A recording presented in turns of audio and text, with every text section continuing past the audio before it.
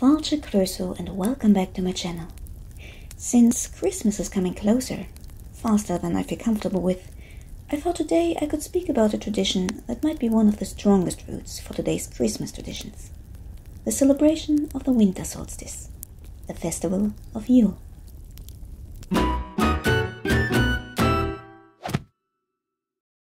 The term Yule goes back to the 6th century and refers to a festival that is or was mainly celebrated in Northern Europe between the winter solstice and the beginning of February.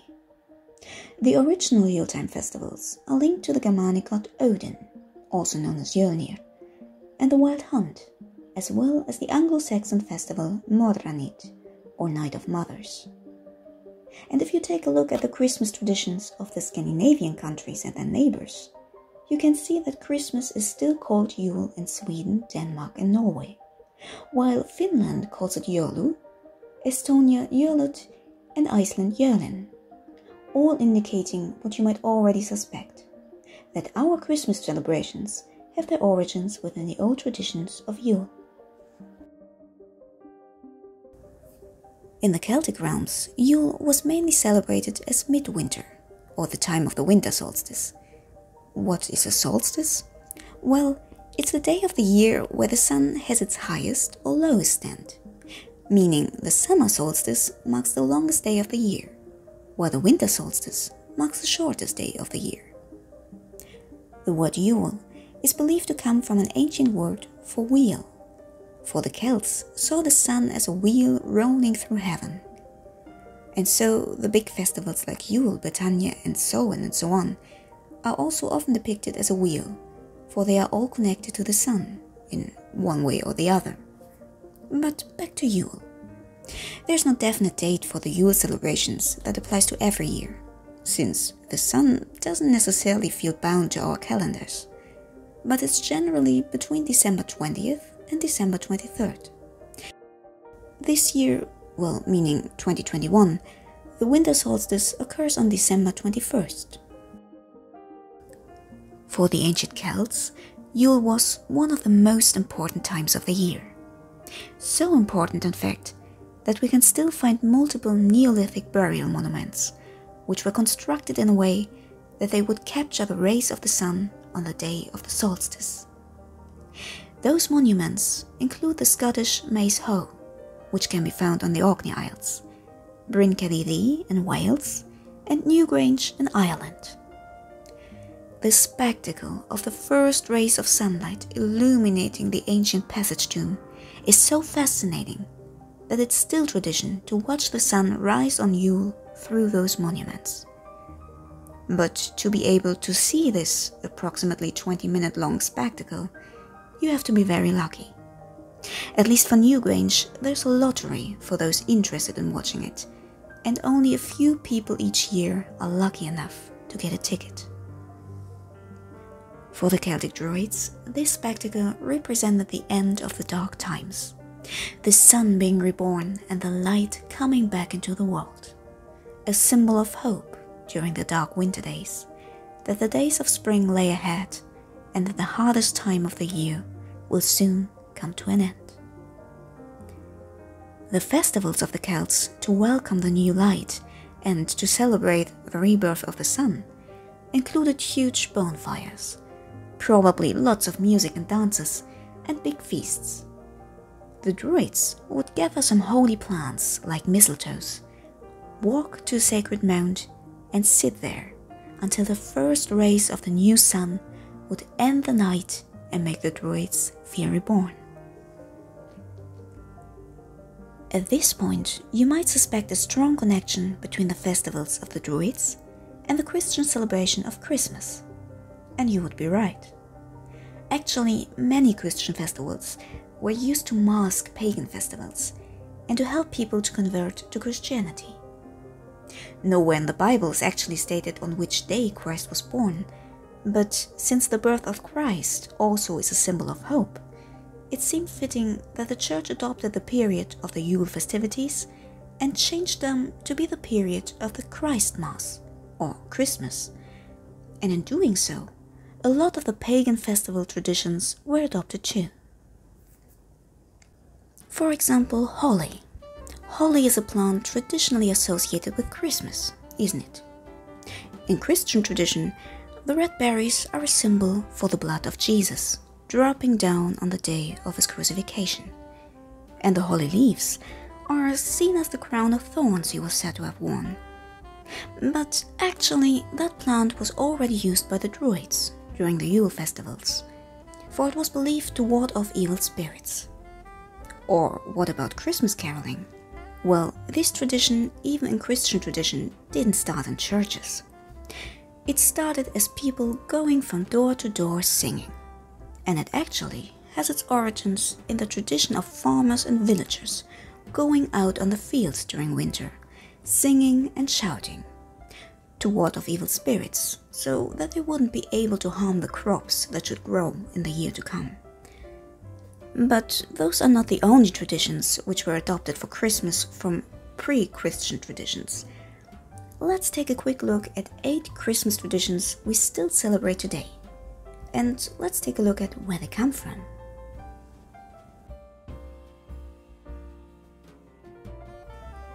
Have you already decorated your Christmas tree? And have you ever asked yourself why we do that? Well, this tradition has its origins in ancient Rome and in the Saturnalia festivals.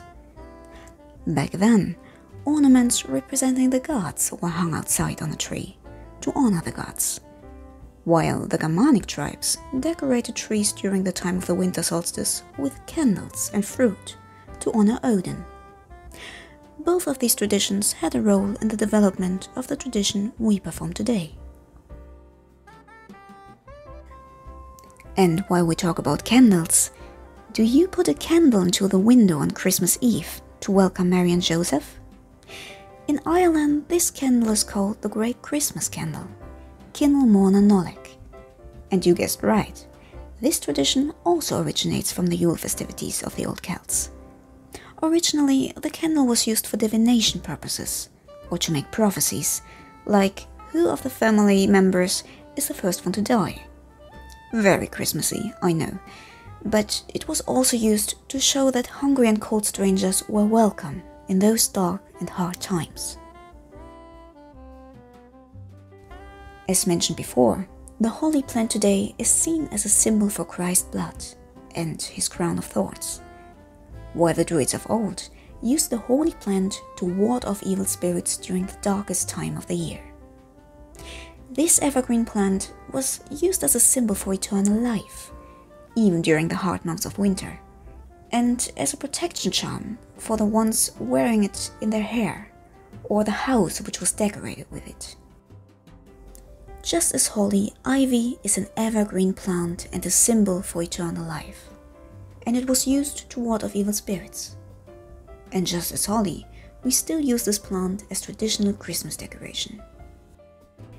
Kissing a person under a mistletoe, a tradition widely known today but not a tradition I grew up with, for example. The only association I had with mistletoes as a child was druids. For the French comic series Asterix the Gaul was very popular during my childhood, and every time I hear the word mistletoe, I see the druid Miraculix gathering some in front of my eyes. And for real, the mistletoe was one of the most sacred plants for the Celtic druids. It was thought to be magical and to have healing properties. It represented the divine and was a popular decoration during the midwinter in Ireland. It was so closely linked to pagan traditions that the church even tried to ban it. But they gave up on fighting it at some point, and so the tradition came back. And why do we kiss under them today? Well, next to the other attributes, it's also said to have an aphrodisiac effect. So, on to the next one.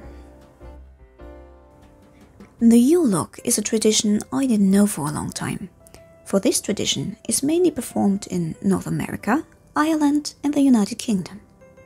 So, here a quick explanation. Most people might know it as a chocolate cake, especially served on Christmas. And when it comes to chocolate cakes, I'm all for adopting new traditions. But back to the topic. The Yule log traditionally is not a cake, but an actual log, especially chosen to burn on a hearth during Christmas time, or rather during the time of the winter solstice. In the Christmas tradition, the lock would be lit for a while every night for 12 nights, until January 6th. And afterwards, it would be kept and placed under a bed to bring good fortune and protect the house from fire. In the times of the Yule celebrations, it was an important part of the festivities. It was seen as a symbol of hope and as a way to burn away bad things from the past. But the log couldn't be just any log you acquired anywhere, or even worse, you bought somewhere.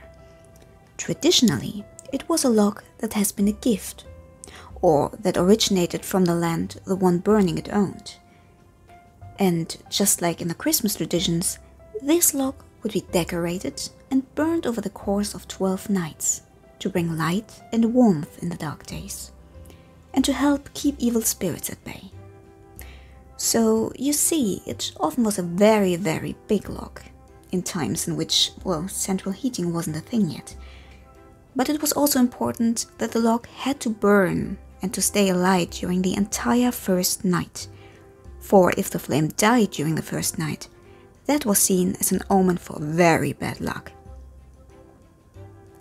To make sure it would stay alight, it was tradition to keep feasting and drinking throughout the whole night and to keep the festivities going, to ensure that someone would be awake to keep the flame alive. And at the end of the 12 nights, the ashes would be gathered and used as a good luck charm when sowing crops in the springtime. Have you ever seen the goats made of straw, which are to be found in wide areas of northern Europe during Christmas time? The most prominent maybe being the Gävle goat, or Gävlebocken, or the straw goat you might find at IKEA. I admit that's not a typical tradition everyone would know, but it's pretty popular, especially in Scandinavian regions. This tradition has also pagan roots. It's connected to the Norse god Thor in his role as a god of agriculture and fertility.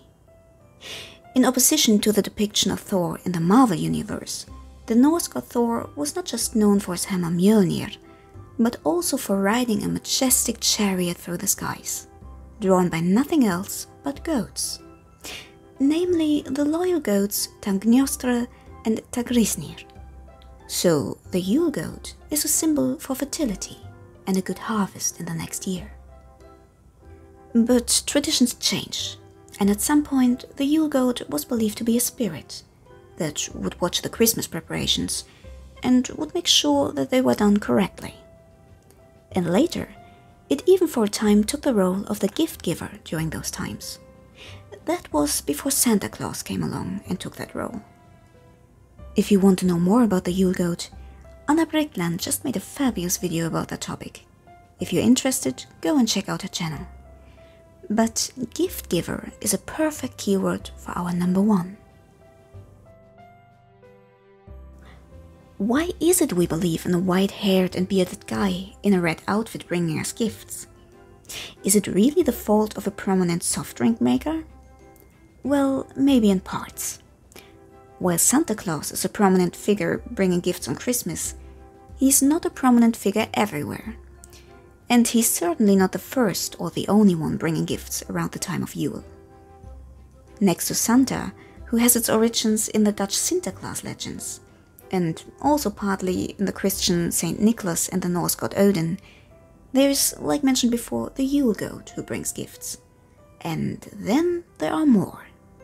For example, there is the Icelandic Yule lads, leaving small gifts or rotten potatoes in shoes, depending on the behavior of the shoe owner. Or how about the Italian La Befana, a kind witch who always has small gifts for well behaved children around Christmas? And then there are legends from my own home country, Germany. One old legend that isn't really known anymore, well, at least not in the part where I'm from, is the legend of Frau Holle. Well, you might know her from the fairy tales of the Brothers Grimm, but she was originally some kind of deity or creature, known also in Scandinavia, that brought gifts to women around midwinter. But like I said, that's not really a present custom anymore. Today, there's St. Nicholas bringing gifts to children. But not on Christmas, no, rather on the 6th of December, the St. Nicholas Day, or Nikolaustag as it's known to us. The tradition is that kids clean their boots, or in our days, more their shoes the day before Nicholas Day, and then put them in front of the doors. St. Nicholas would come during the night, leaving chocolate and small gifts in them. Well, given that the child was well behaved. Otherwise, he would leave coats. And while we're at it, it's not St. Nicholas or Santa Claus who brings the gifts on Christmas, but Father Christmas. So, in short, the tradition of getting gifts from mythical personalities predates Christianity too. Other German customs are the custom of the Advent calendar and the Advent Sundays. The Advent calendar, which I just recently realized is not a thing everywhere, is a calendar with 24 doors. Behind each door, there's a small chocolate or something, and children would be allowed to open one door each day, starting on December 1st, to shorten the time of waiting until Christmas. A lovely tradition, in my opinion, and I definitely get one next year. We also celebrate the four Sundays leading to Christmas as Advent Sundays. The tradition is to light one candle the first Sunday, two the second, and so on, and to have some Christmas treats or sweets for tea time with the whole family. Well, at least that's the idea. So much for German traditions. Since it took me way longer than it should to realize that those are not traditions performed everywhere, I'm curious. What Christmas traditions do you know from where you're from? Please leave a comment down below. Okay, now we talked about how Yule became Christmas and where Christmas traditions originate from. But even though Christmas is the more prominent holiday, Yule as a festival is still celebrated. For today's pagans, Yule is a very important festival, and it's also one of the main holidays for modern Wicca beliefs. It's still mostly celebrated around the time of the winter solstice and still celebrates the victory of the light over the darkness and the end of the longest night and the dark time of the year, and also the return of the sun and the light. If you want to celebrate Yule, either to keep old traditions alive or for any other reason, here are a few activities you can include into your celebrations. First, feasts. Yule is also a traditional celebration of the end of the hard times, when people traditionally had not so much food. Use this time to be thankful that times have changed and that we have enough. Maybe bake a fruitcake as a symbol for fertility and wish for good harvest and good growth for fruit and crops next year. Just because you personally don't reap or sow does not mean you can't wish for all of that to your local farmers. Or how about gifting a Yule log? Or alternatively, a special candle to someone you love, and explain to them the tradition behind it. Maybe take a piece of paper, write on it everything from last year you want to let go, and burn it together with the log. But please make sure you stay safe and make sure you don't burn down the house in the process. In Ireland, the Yule log is traditionally known as Bealach na nGaedheal, and it's custom to sit around it while it burns and to sing, tell ghost stories, or play games. So maybe gather around the people you love and use this lovely tradition to spend some quality time with them. After all, Christmas is the time for family. And it doesn't really matter if it's family by blood or the family you chose, aka friends. Just enjoy the time together. You want to honor the rebirth of the sun? Well, how about a little altar? You can decorate it with ivy, mistletoe, holly, candles, fairy lights, Christmas cards, cinnamon sticks, nuts, fruits, and so on and so on. Make your own little space where you can celebrate the returning sun and the end of the longest night of the year. Another nice thing to do is meditation. Take your time and think about the last year. What was good? What was bad? And what do you want to change in the next year? What are you thankful for? What do you want to let go? Use this time to calm down and to reflect on what happened throughout the year. And if sitting still is not your cup of tea, maybe go for a walk and reflect while walking through a forest. If you are fortunate enough that you have a roof upon your head, a warm meal every day, and a warm room you can stay in, how about thinking about those less fortunate during these times? Yule and Christmas are times of looking after each other and a time of kindness and charity. Consider performing an act of kindness and charity. It doesn't have to be something big. How about baking cookies and giving some to your neighbors or your mailman? How about volunteering in a soup kitchen? There are lots of possibilities. But that's it for now. If you have more suggestions for ways on how to celebrate Yule, leave suggestions in the comments down below.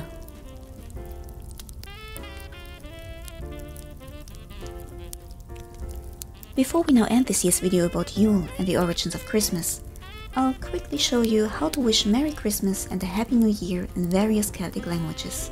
So here you go. Since I'm not able yet to pronounce those languages correctly, I'll not even attempt. I at this point use my mother tongue and wish you fröhliche Weihnachten und ein frohes neues Jahr. Merry Christmas to you all. Thank you very much for listening. Have a very Merry Christmas and hopefully a happy time with your family and the people you love. Stay safe. See you next time. Bye.